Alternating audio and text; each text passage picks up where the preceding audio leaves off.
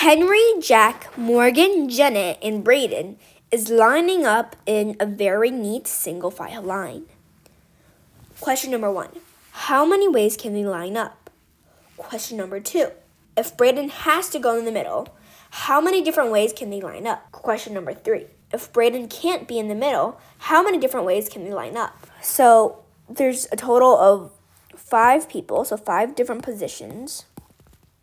And let's say that, and this will be Henry, this will be Jack, this will be Morgan, this will be Jennet, and this, and this will be Brayden.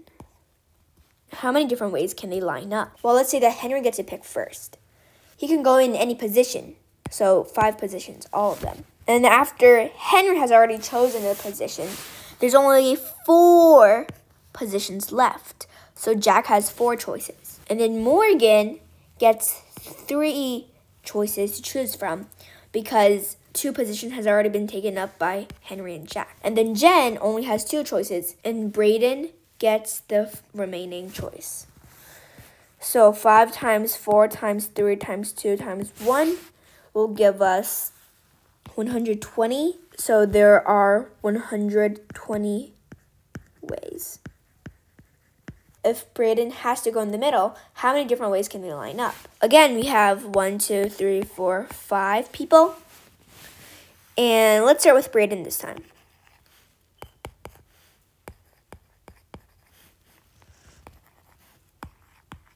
Brayden has to go in the middle, so he has one choice. And then Henry gets four different choices because Brayden has already taken one spot.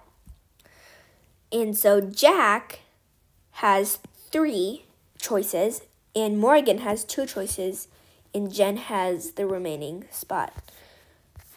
And then we're going to multiply this together to get 24. So for the second question, our answer is 24 ways. If Brayden can't be in the middle, how many different ways can they line up? So again, we have five different people. Let's start with Brayden again.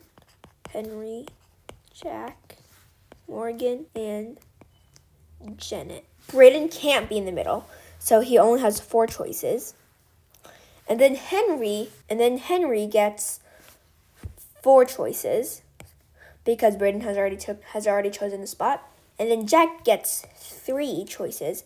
Morgan can pick from two spots, and Jen gets the remaining one. And then we multiply this together in order to get 96.